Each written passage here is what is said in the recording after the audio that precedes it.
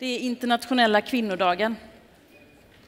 Det är inte den dagen då vi säger grattis alla kvinnor, utan det är snarare den dagen då vi högtidlighåller faktiskt att mänskliga rättigheter ska innebära mänskliga rättigheter för hela befolkningen.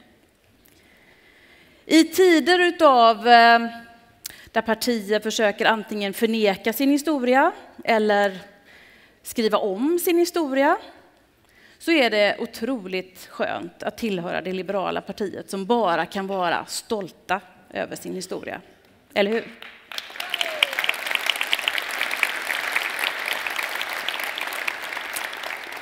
För ganska precis ett år sedan så fick Sverige en ny jämställdhetsminister. Åtminstone var det det första offentliga framträdandet i folkpartisammanhang som Maria gjorde här. Inte på denna scenen, men på liberala riksmötet för ganska exakt faktiskt ett år sedan. Och därför så är det så fantastiskt roligt att få säga välkommen upp på scenen till Sveriges jämställdhetsminister Maria Arnholm.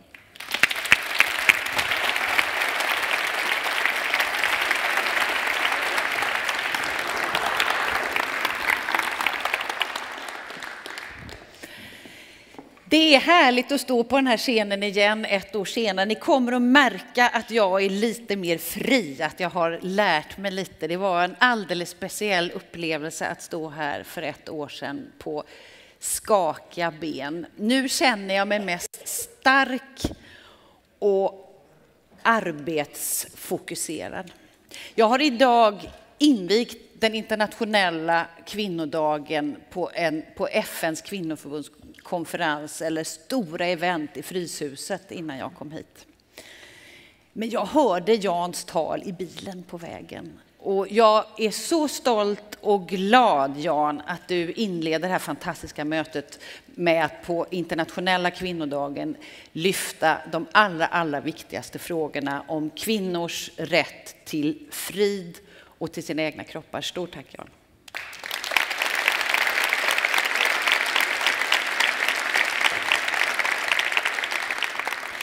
För det är den kvinnan du talade om och miljontals andra kvinnor runt om i världen som den här dagen handlar om.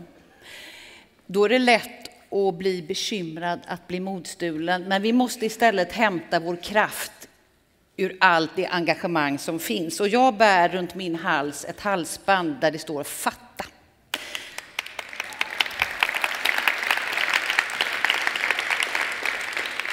Det var Linda Nordlund som började applådera nu, för hon vet vad det här betyder. Hon är en del av den där rörelsen. Fatta är en det är unga kvinnor under ledning får man säga av en tjej som heter Ida Östensson. Det är det unga civilsamhället som vårt samhälles framtid eh, vilar på som organiserar sig och säger att ett nej ska vara ett nej. Och mot, mot ett förstelnat och tondövt etablissemang så har Ida Östensson, Linda Nordlund och en massa andra feminister som går under den här beteckningen, ni måste fatta att ett nej ska vara ett nej. Och jag är också så stolt över att Folkpartiet, vi ändrade oss och ställde upp på de här tjejernas sida. Så det vill jag tacka er alla för.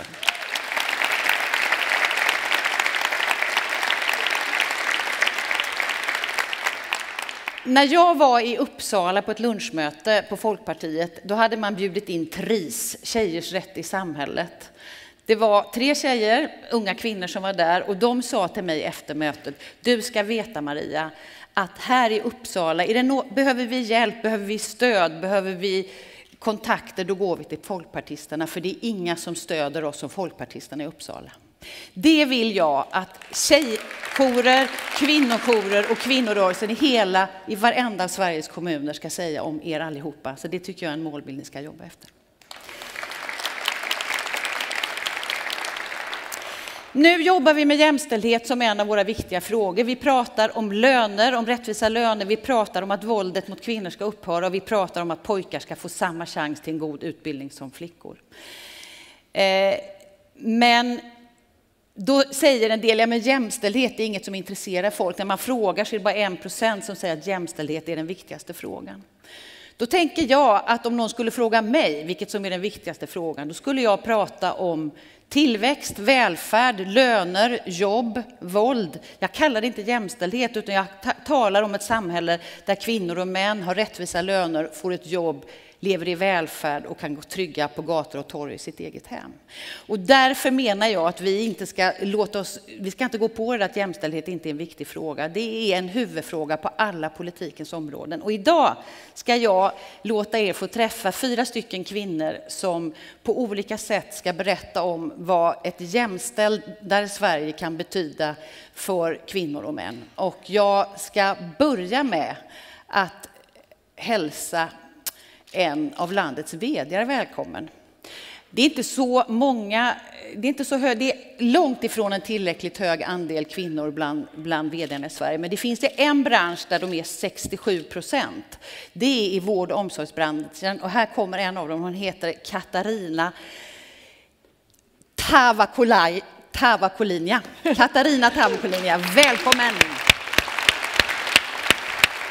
Tack så mycket. Jag har övat hela vägen. Eh, du är VD för Kavat Vård. Berätta, vad gör ni? Kavat Vård driver eh, nischade och profilerade äldreboenden med hjälp av LOV, lagen om valfrihet, i Stockholm. Framförallt Stockholms stad, men även i länet där valfrihetsreformer är införda. Jag har varit och besökt dig på ett lite speciellt äldreboende där det var sambarytmer. Berätta. Maria var besökte vårt latinamerikanska tillskott som vi öppnade i april ungefär. Ja, det är snart ett år sedan. Och eh, det var en, det är ett exempel på det. Vi har också det persiska äldreboendet som säkert flera av er såg i nyhetssändningarna igår på TV4. Eh, det är fantastiskt tycker jag att, att den här möjligheten finns. Dels för alla våra eh, äldre som eh, har invandrarbakgrund och som börjar tappa sitt språk, men också för många av medarbetarna som har kämpat länge med svenskan. Och jag tänker att det här är ju ditt företagande, din bransch växer och utvecklas på grund av den valfrihetsrevolution det innebar när man släppte monopolet på produktionen av vård och omsorgstjänster. Huvudskälet till det är ju att vi som medborgare ska få lov att välja de allra viktigaste tjänsterna själva. Men det har också lett till att sådana som du har kunnat starta eget och utveckla det ni vill. Kan du berätta lite om din resa? Ja, framförallt tror jag det var att eh, det började ju på 90-talet med konkurrensutsättning och effektivisering och, och, den resan. När vi nu kom så pass långt där 2006 när Alliansen kom och sa att vi kanske kan införa lagen om valfrihet och prestationsersättningar istället, då fanns det också en möjlighet när den äldre skulle få välja att, att ägna sig åt kvalitetsutveckling och paketera och utveckla tjänsterna på ett helt nytt sätt. Eh, och då såg jag chansen, så det var ju det som var avgörande. När man bara ska tävla på lägsta pris så är det ju svårt att se hur man ska kunna ekonomiskt förverkliga de här drömmarna. Men när man ska få tävla på samma villkor allihopa, då blir det ju fantastiskt. Eh, jag hörde någon som sa att ni driver sådana lyxboende och då trodde jag menade mitt äldreboende på Östermalm, för det är ju nischat för den målgruppen. Men då sa tjänstemannen, när jag menar lyxboende, för det är så orättvist att just de äldre som flyttar in hos er får så mycket mer. Och då har vi väl lyckats tycker jag.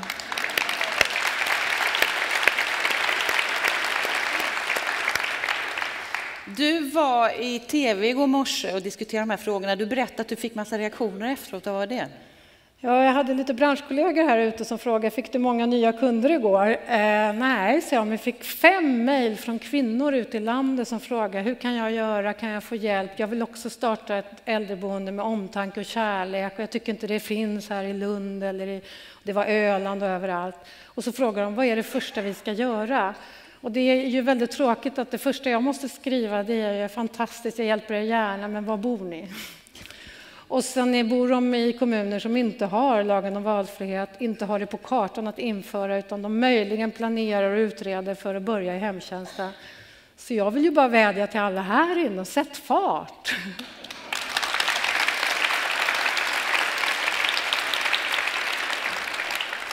Vi är ju här för att ladda för supervalåret. Vad känner du inför det? Ja, jag hoppas ju verkligen att Alliansen ska vinna. Jag tycker det finns så många frågor i det här. Och nu släppte Vårdföretagen den här rapporten som visar att 67 procent av vdarna i äldreomsorgsföretagen framför allt är kvinnor och delägare i stor utsträckning. Och då tycker jag att det är en viktig jämställdhetsfråga. Att det är väl lätt att ropa på kvinnor i näringslivet, men när vi har jobbat i den offentliga sektorn så länge så måste vi också få chans att lära oss företagandet från grunden.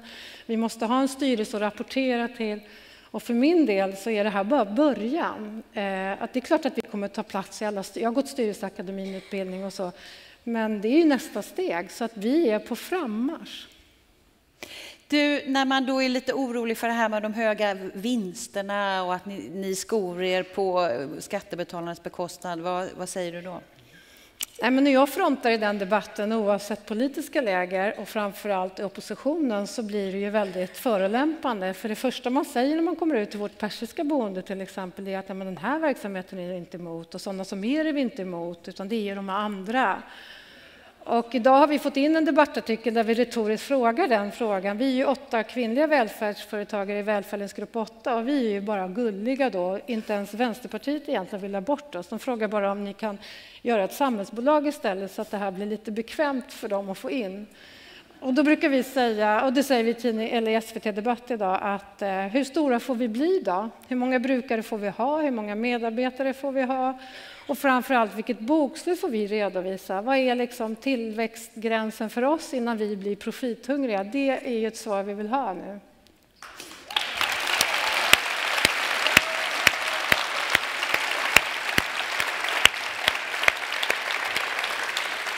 Katarina, jag ska be dig sätta dig i en stol här borta och jag vill verkligen tacka dig för att du också genom det du gör visar att vi gjorde rätt när vi rev monopolen och att du envist står upp mot nidbilden av de där pösmagade vdarna och direktörerna och är en förebild och ett gott exempel och faktiskt ett ganska stort, en ganska stor morot för oss att gå ut och vinna det här valet. Tack ska du ha.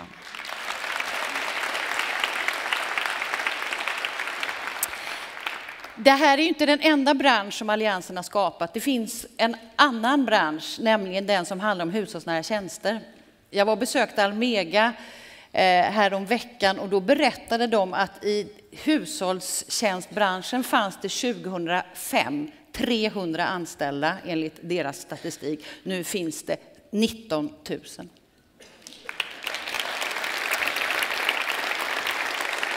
Och då sa min unge medarbetare, men tre, ursäkta, 300 städades, fanns det, städade ingen då? Jo, det fanns i alla fall i storstäderna rätt många som betalade städhjälp, men man gjorde det svart. Eh, det var, det gick, liksom, var det någon som kände någon som kände någon som kunde tänka sig att städa mot kvitto? Det gick inte att hitta någon sån. Och då vill jag gärna understryka att rutavdragets främsta förtjänst, menar jag, är inte att många barnfamiljer och pensionärer får hjälp till billigare tjänster, utan det är att 20 000 kvinnor har fått vita jobb med skatter och pensioner och trygga arbetsförhållanden. Det tycker jag vi ska vara väldigt stolta över.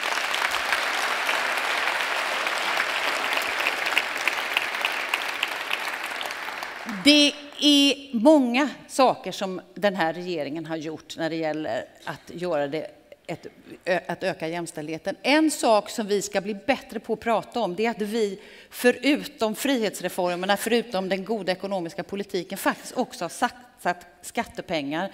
2,6 miljarder har Nyamko Sabuni som jämställdhetsminister i alliansregeringen och så här på slutet jag satsat på olika jämställdhetsskapande åtgärder. Det är tio gånger så mycket som någon regering tidigare har gjort. Det kan ni sticka i halsen på oppositionen.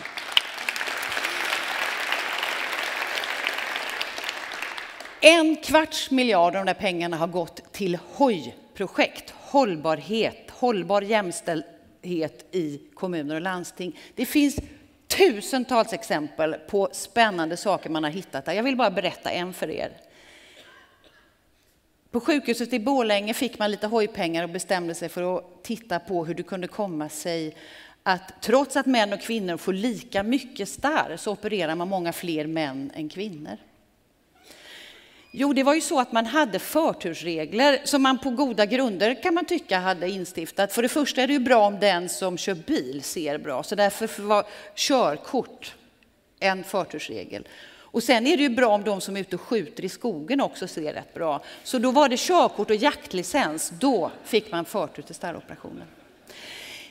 Det finns så mycket sånt man kan hitta om man skaffar sig rätt glasögon. Och en som har varit med och haft de där glasögonen, hon, jobbar, hon är verksamhetsutvecklare i Botkyrka kommun och heter Lisa Alm. Välkommen!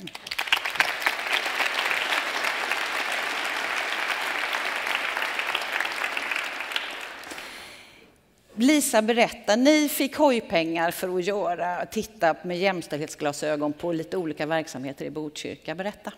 Ja, det stämmer. Alltså, vår utgångspunkt i det här projektet som heter Smart ekonomi, det är att titta på vad vi i det offentliga tjänar på jämställda verksamheter.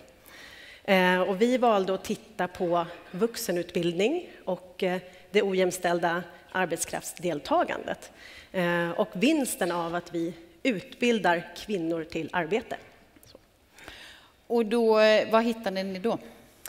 Vi såg ju stora samhällsekonomiska effekter. Gjorde vi. vi tittade både utifrån kvinnans perspektiv, utifrån det kommunalekonomiska perspektivet och samhällsekonomiska perspektivet. Eh, och vi såg framförallt eh, stora effekter för kvinnan själv, eh, men också för samhället, och även i fall som till en början verkade vara lite utmanande. Du, du blev lite överraskad själv, vet jag. Berätta om, den här, om, om, att det till och med blev bättre än vad ni trodde. Ja, nej, men vi såg att även en fyraårig utbildningsinsats lönade sig även för en kvinna som hade ganska kort tid kvar i yrkeslivet. Och det går nog egentligen emot våra, våra föreställningar som jobbar inom den branschen. För det, det, det, var, det var rätt tydligt, tycker jag, när jag studerade det där exemplet, att också att, att det finns inget bättre man kan göra om man vill få, få igång eh, välfärden och, och få folk i sysselsättningen att utbilda dem också om det tar några år och också om man inte har så långt yrkesarbete. Ja, precis. Det är definitivt en konsekvens. Och vi såg också att kvinnor som till en början inte förefaller kosta samhället någonting för att man inte har en offentlig försörjning, även där finns det stora samhällsekonomiska effekter och det är på grund av värdet av förvärvsarbete. Så att det inte bara i första hand skatteintäkterna utan det man bidrar med i produktionen. Ja, absolut. Här har du massor av kommunalpolitiker som, som kan göra insatser. Vad säger du som tjänsteman till dem? Vad kan de göra för att öka jämställdheten i sina kommuner? Ja, alltså jag tänker att eh, det finns inga hinder för det idag, utan eh, det som behövs för det första för tjänstemannaorganisationen är en efterfrågan. Vi behöver tydliga politiska beställningar på det. Eh, och framför allt först att eh, man också synliggör ojämställdhet. Och det handlar ju om till exempel beköna mål, mätetal och uppföljning för att se vart vi har ojämställda verksamheter. Beköna mål och mätetal, det låter så lite... Hur gör man det? Ja, okay. Vi eh, uttrycker våra målformuleringar för både flickor och pojkar och för kvinnor och män. Och våra mätetal uttrycker detsamma och all vår uppföljning och statistik eh, görs i alla de här kategorierna. Vilket gjorde, jag kan också ge ett exempel på att vi upptäckte när vi började sätta mål på hur många personer som skulle gå ut till jobb efter SFI, för både kvinnor och män, så såg vi att 75 procent av männen gick ut till jobb efter SFI, men bara 40 procent av kvinnorna. Och då ställer vi oss såklart frågan, vad beror det här på? Eh, och det vi såg då var att många kvinnor valde att studera, vilket är bra, men många eh, avbröt också SFI på grund av föräldraledighet. Och då tyckte vi, det ska inte vara ett hinder för att läsa SFI, så vi startade SFI för föräldralediga. Så ett exempel på verksamhetsutveckling av att man bekönar eh, styrsystemen. Bra exempel, va? Mm.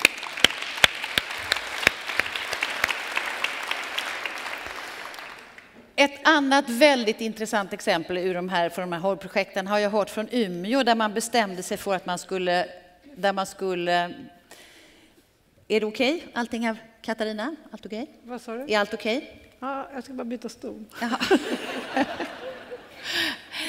I Umeå, jag vet inte om du har hört talas om det exemplet Lisa, men i Umeå bestämde man sig för att man skulle göra något åt att killar och män spelar fotboll på de bra tiderna och tjejerna på sena nätter eller dåliga tider.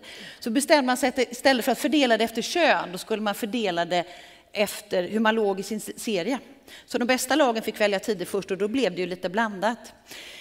Och det här låter ju enkelt, men jag har hört att det tog två år innan liksom, det var lugnt igen. För att det tar två, alla blev så upprörda. Men det funkar så bra så nu spelar lika många killar och män och många fler tjejer och kvinnor fotboll i Umeå än det var tidigare. Så på, det, det, blir bättre för alla om man gör det jämställt. Och jag tror att det finns jättemycket att göra i kommunerna runt om i Sverige. Och då tycker jag vi ska lyssna på Lisa, att det behövs ett politiskt ledarskap. Lisa och hennes tjänstemannakollegor kan göra det, men vi måste stå upp och ta de stora orden i vår mun och säga att för en liberal är det självklart att varje individ ska få spela fotboll eller bli opererad för starr eller slippa ramla och bryta benen för att man inte plogar på rätt sätt eller få narkos när man behöver det och tusen andra saker, vare sig man är man eller kvinna och det är vår uppgift att göra det. Gå hem och gör det.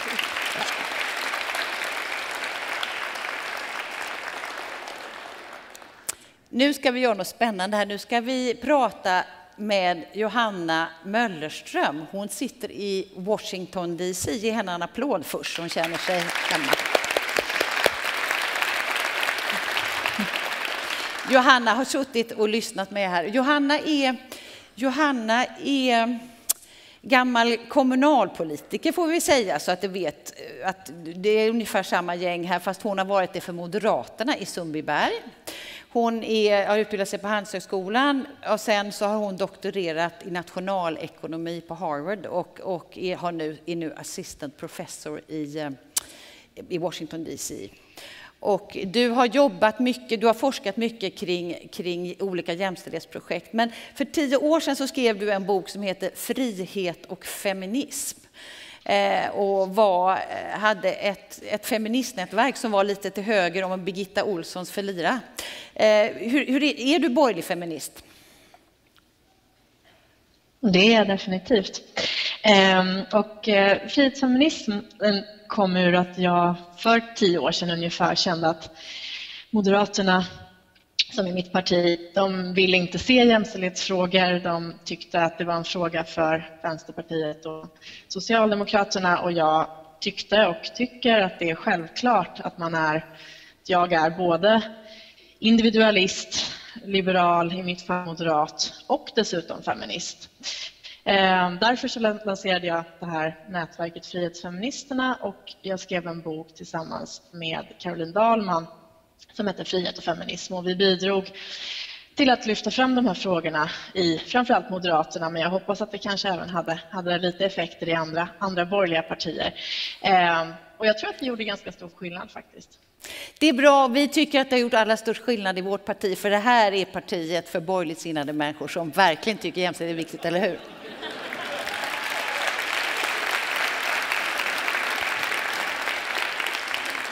Jag är jätteglad att du vill medverka här hos oss och, och, och jag, vill, jag vill lyfta en fråga med dig som handlar om löner. Att, att, att det skiljer 3,6 miljoner mellan vad en genomsnittlig man och en genomsnittlig kvinna tjänar i Sverige 2014 är en upprörande orättvisa. Vad, vad kan en marknadsliberal göra åt det? Hur ska, vad är, tror du är verktygen vi kan använda för att det ska bli bättre?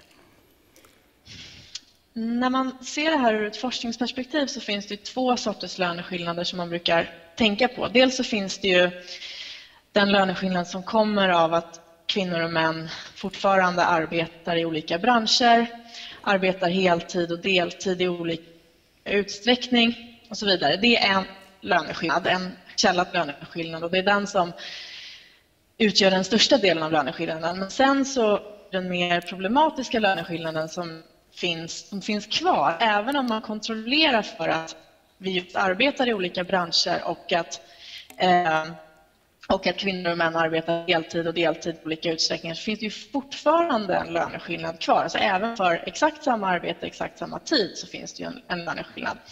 Eh, en forskning som jag tycker visar att eh, flexibilitet i eh, arbetslivet är centralt i den här frågan.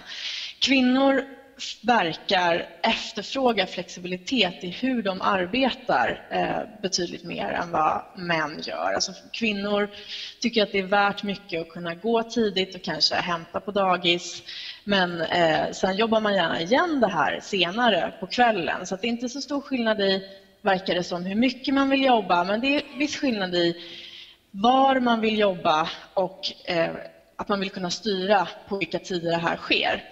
Så där tror jag att eh, politiken har en viktig uppgift att, att underlätta för, eh, för den här typen av flexibla lösningar på arbetsmarknaden. Eh, lite kan vi ju se att det här blir bättre så att säga av sig självt eftersom flexibilitet med teknisk utveckling och så vidare så blir flexibilitet lättare att erbjuda för alla och därför så blir det också billigare och man behöver inte tumma lika mycket på till exempel löneanspråk då för, att kunna, för att kunna få den här flexibiliteten. Så lite, lite kan vi nog förvänta oss att kommer så att säga gratis med, med annan utveckling. Men det är ett område där jag tror att det skulle kunna göra att det skulle kunna göra stor skillnad för just de här sista, de här sista procenten som, som ju även, även i Sverige återstår. Ja, och då, jag vill gärna tillägga att jag tror att det finns en sak till vi verkligen kan göra. För en hel del av de, de yrken som vi finansierar, eller de tjänster vi finansierar med skattepengar, som vi ju ansvarar för här inne då, det, det handlar om yrken inom vård och omsorg och utbildning där det inte alltid är så lätt att vara flexibel. Men att vi här inne kan ta ansvar för att arbeta för rätt till heltid i de yrken där vi är arbetsgivare eller på, på de ställen där vi är arbetsgivare. Det kan ju Katarina också göra, eller hur? Eh, men att vi, och att vi dessutom ser till att införa karriärtjänster i sådana typiska kvinnoyrken som lärare, sjuksköterska, socialsekreterare, alltså yrken där det är väldigt sammanpressat. För det är väl också en sanning att om i yrken med större spridning blir det också lönerna högre. Eh, ja, det, det, är en sanning. Eh, och det, det, är en sanning också där man jämför Sverige med andra länder. Sverige har ju generellt en väldigt eh, sammanpressad lönestruktur. Eh, så man kanske skulle kunna, man kanske skulle kunna se, se en framtid där, där Sverige har en lite större spridning rent, rent generellt, inte bara i, eh, i de i de branscher som vi pratar om här som vård, vård omsorg och så vidare. Men jag tror att du har helt rätt i när du säger att just de här branscherna är naturligtvis centrala. Dels eftersom det är många kvinnor som, som arbetar där, men dels eftersom politikers inflytande är ju extra stort i de, i de branscherna. Vi som liberaler vill ju oftast inte att politiker ska, ska in och fingra särskilt mycket, men i de här branscherna så är ju politikerna redan inblandade och då Just bör det. man ju göra det bästa man kan. Just det. Johanna, du ser inte Jan Björklund som sitter här framme, men han brukar läxa upp oss ibland och säga att vi är lite för mesiga. Just när det gäller att våga betala, just politiker vill gärna att alla ska vara överens och tycker det är obekvämt att göra sig ovän med någon, men att vi behöver bli bättre bättre på att ta ansvar för att införa, eh, införa karriärtjänster och stegar. Och det har regeringen gjort nu när du, medan du är borta och sett till att det finns eh, en och en halv miljard kommer att finnas i statliga medel för att införa det för lärare. Och, och det finns till exempel Anna Starbrink som sitter här, henne ser du inte heller. Hon har infört det för specialistsjuksköterskor i Stockholms läns landsting. Så att det finns en applåd för Anna. Ja!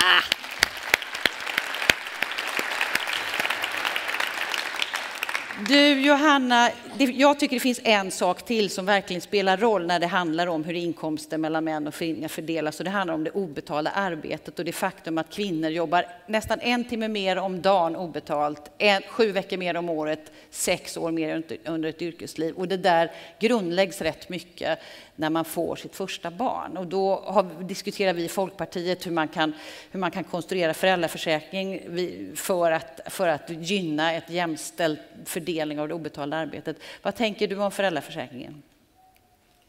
Jag tänker att föräldraförsäkringen är Sveriges riktigt Sveriges sista riktigt stora utmaning eh, på jämställdhetsområdet. Eh, på de flesta andra politikområden så finns det små saker man kan göra som säkert kommer göra skillnad. Men, men jag tror att om man skulle ta tag i föräldraförsäkringen på allvar så tror jag att man skulle kunna göra stor skillnad för, för väldigt många. Eh, jag tycker personligen att föräldraförsäkringen i Sverige är ett, för lång och två, så tycker jag att den borde individualiseras helt. Eh, jag tycker att precis som eh, drygt halva salen applåderar, eller halva kanske. Eh, på samma sätt som jag tycker att sambeskattning känns otroligt utdaterat. Alltså varför, vem, vem, skulle vara för idag att man, man säger att man ska beskatta makars eh, inkomster tillsammans? På samma sätt så tycker jag att man ser att det är två personer oftast eh, som får barn och då, då får de halva föräldraförsäkringen var. Tack, tack så hemskt mycket Johanna. Vi, vi, i Folkpartiet har tagit en lite mindre radikal upp, ståndpunkt än vad du har gjort. Vi, är, vi tror inte på revolution utan på reformism och, och, och, tycker att vi nu har kommit till en punkt där man skulle kunna tänka sig att införa en tredje, tredje öronmärkt månad och tror att, vi, att det finns många i Sverige som skulle tycka att det var en bra idé. Stort tack för att du har bidragit med dina liberal feministiska synpunkter. Eh, nu är det dags för nästa, men tack ska du ha.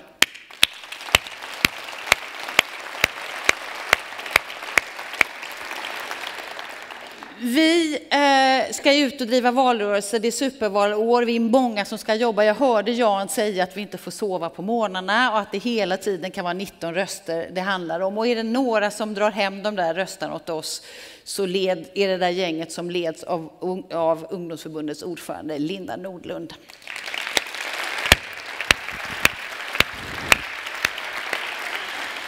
Vad ska, vad ska ungdomsförbundets valrörelse handla om, Linda? Ungdomsförbundets valrörelse ska handla om skola, om jobb och om feminism. Bra. Ja. Hur känns det att vara ung feminist och folkpartist? Det känns oftast fantastiskt roligt, men det är också enormt provocerande, framförallt för de där sköna vänstersnubbarna. Eh, för ett år sedan ungefär så stod jag till exempel i P1 i direktsändning och fick ha en debatt mellan mig och Uje Brandelius från Vänsterpartiet. Och hela debatten handlade om huruvida jag får kalla mig feminist.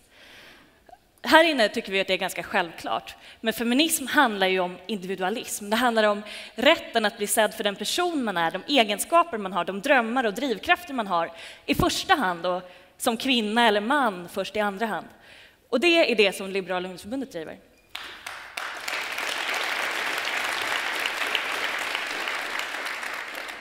Tycker du att du får gehör för det när du är ute på skolorna, när ni har era kampanjer? Är det, är det lätt att få unga tjejer och killar att uppfatta det så? Det tycker jag absolut. Vi har ju drivit en kampanj nu för samtycke under hela hösten. Ehm, men även löneskillnader och just det här som Jan tog upp idag med fotboja på de som eh, blir dömda till besöksförbud. De frågorna går väldigt bra bland Sveriges unga tjejer framför allt, men också unga killar. Därför att alla känner igen sig i det här. Man blir upprörd när man läser i tidningen och man ser hur våldtäktsoffer eh, skambeläggs och får höra att det var deras eget fel. Eh, bland Sveriges unga är det självklart att man ska fråga först och ligga sen. Och det är det vårt budskap har varit och det har varit väldigt framgångsrikt.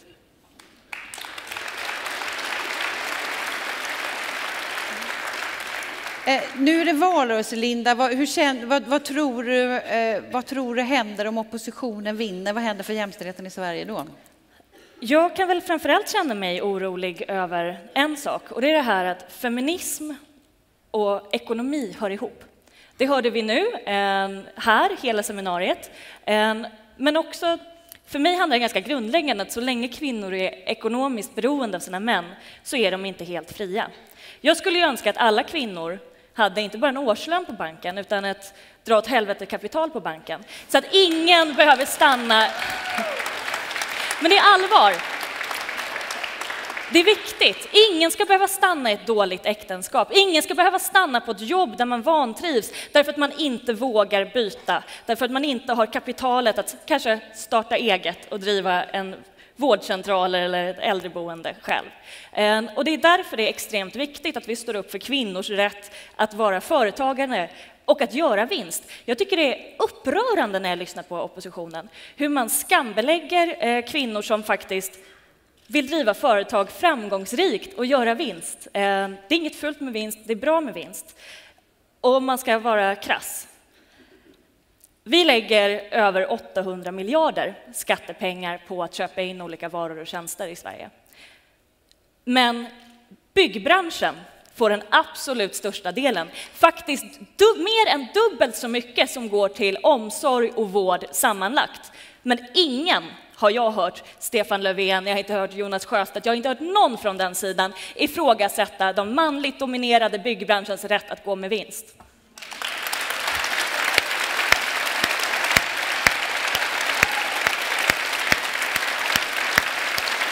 Det finns ett ord för det.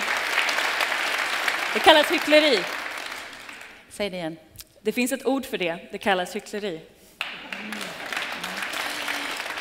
Det finns ju nu, ska jag vara, nu ska jag vara ärlig mot er. Ibland tror jag, tror att, jag tror att ni gillar det vi pratar om. Jag tror att ni känner, ni liberaler, ni känner för att jobba med jämställdhet och att det är viktigt och att nog många tycker att det är en viktig valfråga.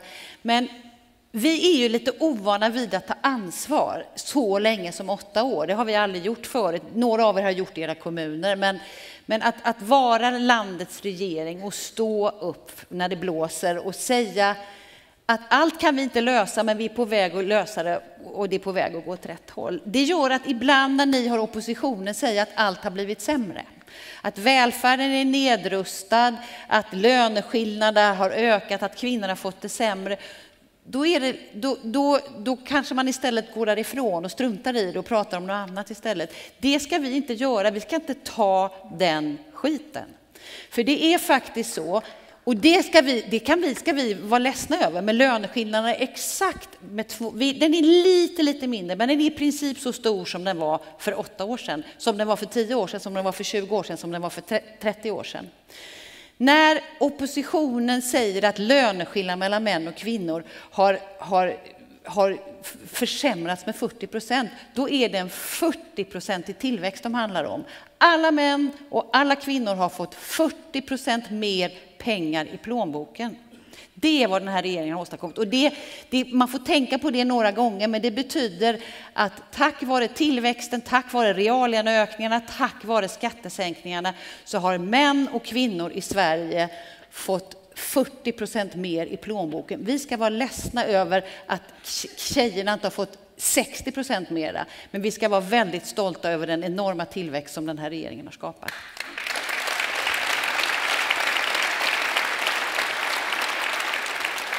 Och om ni inte fattar vad jag sa, för det är, här är lite klurigt, så kommer vi att dela ut en liten lapp där det står. För er som inte har varit på seminarier så har vi samlat de tre vanligaste påståenden från oppositionen mot regeringens jämställdhetspolitik för att ni ska känna att, att, att ni, den kan ni nästan ha i plånboken eller i bakfickan.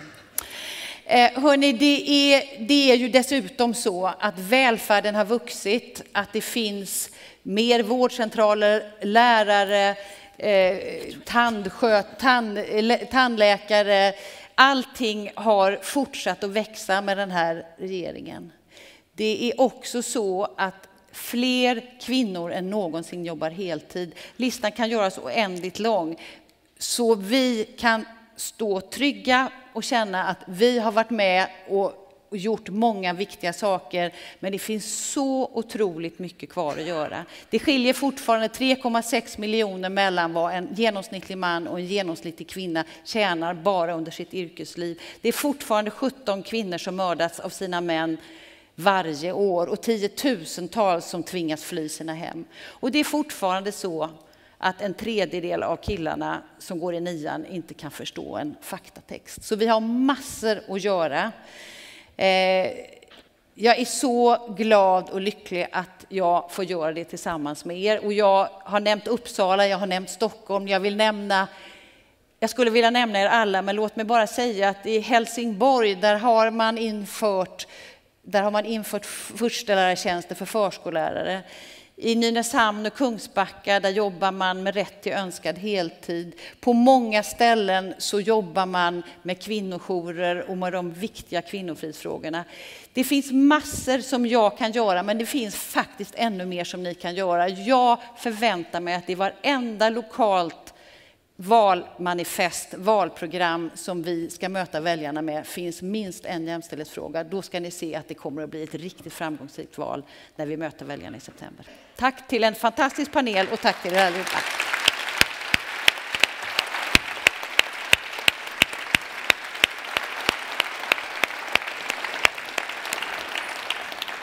Nu ska ni få choklad. Tack. Tack. Tack. Och tack så mycket. Och vi vinkar till dig. Tack så hemskt mycket för att du var med. Vi skickar choklad.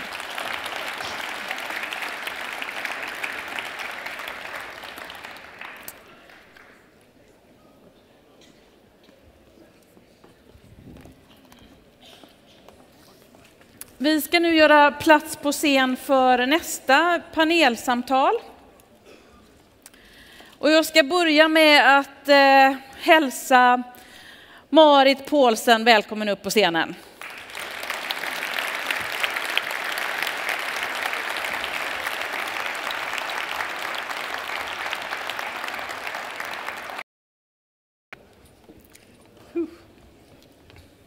Spännande.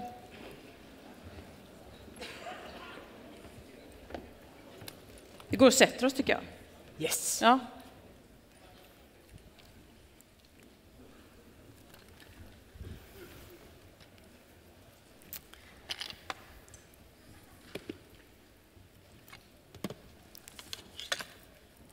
Vilken fin häst du har. Det är en dalahäst. Ja.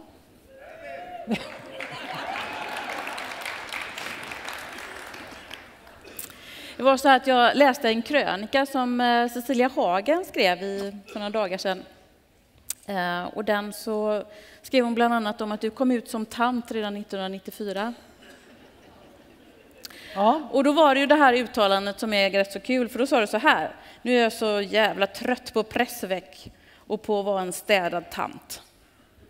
Och sen dess så har ju du då varit en synbart enkel tant, en härlig tant, en Jo, men jag- barsk tant, vänta, en tråkig tant. ja. Ja. Men min favorit är ändå den här från EU-omröstningen, EMU-omröstningen 2003. För då sa du så här. Jag kan inte förvandlas från den feta tanten till en liten fransyska i ett nafs.